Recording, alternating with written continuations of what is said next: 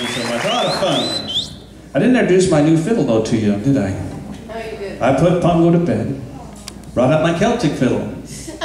I call this one my sunset violin.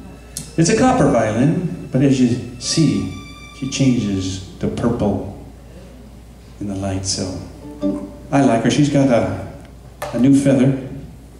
This happens to be a peacock feather. They have this iridescence to them. They change colors, just like my fiddle, just like sunset.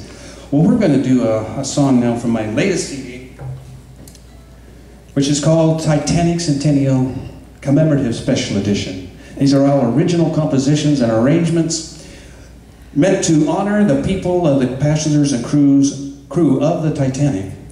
And um, many of these uh, songs, well, they'll have stories that go with them, and there's a booklet inside the CD that tells you the story of the song that we're doing. The song now we're going to turn to is called Father Brown.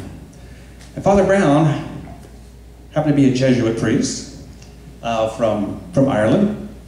He was not yet a father in 1912, but he was studying, and he had a first class ticket on the Titanic to go from Ireland to France. And his father had bought him, and his father, or I guess his grandfather, was also in, in the uh, Jesuits. So he had a camera. He was a big camera buff. So he's the only one that is known to have taken photos of the Titanic on its maiden voyage. He had full run of the ship because with a first class ticket he could go anywhere.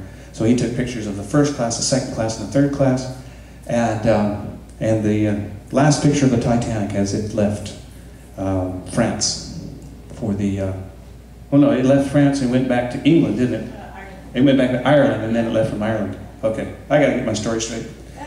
But anyway, these uh, photos never got published because uh, he started to do a little, you know, a little kind of display. And the uh, White Star Line wanted to put this matter to rest, you know. They wanted it to go away, so they asked him not to show his pictures. So put him in a trunk and they stayed there, and he died in 1960 and uh, age of 80. And his photos were not discovered until 1982. And then uh, now they have become the most uh, recognizable photos and they're used in all the galleries and the displays and exhibits that are touring the country right now.